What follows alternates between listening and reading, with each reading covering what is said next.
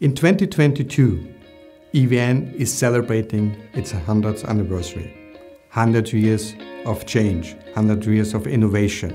EVN, with its strategy 2030, is very well positioned to drive this change further. We will be an enabler of our energy future.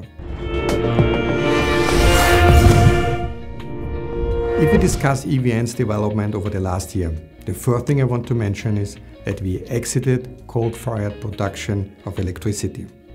We sold our minority stake at the Walsum power plant in Germany. The second thing I want to mention is that we were able to agree on a CO2 reduction path.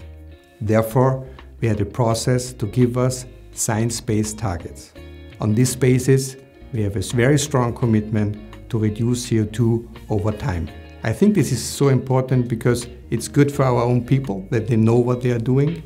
It's very good that we can increase our investments on this basis. And I think it's also good for investors who are especially looking for energy companies who are able to have a certified CO2 reduction path. With our new strategy 2030, EVN is positioning itself as an enabler of energy future. Therefore, we will also increase our investments.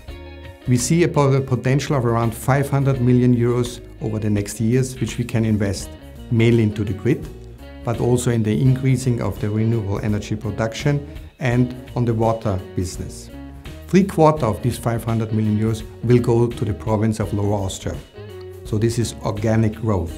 On the basis of our strategy 2030, we will increase our installed renewable energy capacity from 400 on wind to 750 and the target for photovoltaic will be around 300 megawatt. EVN today is the biggest user of biomass for district heating. We see here an enormous potential uh, in the transformation of the heating sector further on.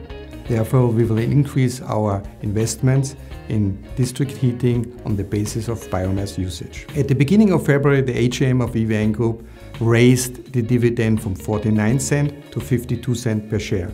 This is the floor for the future which we are aiming for.